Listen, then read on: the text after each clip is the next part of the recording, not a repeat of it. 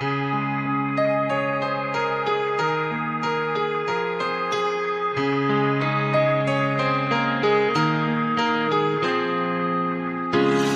my car right across from her house last night.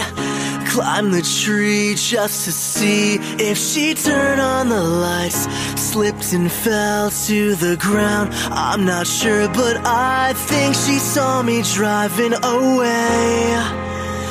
I think she knows what I'm trying to say, but I don't know how she's finding me out.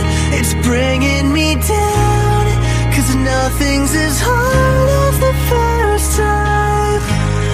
I'm fooling myself, she'll never be mine.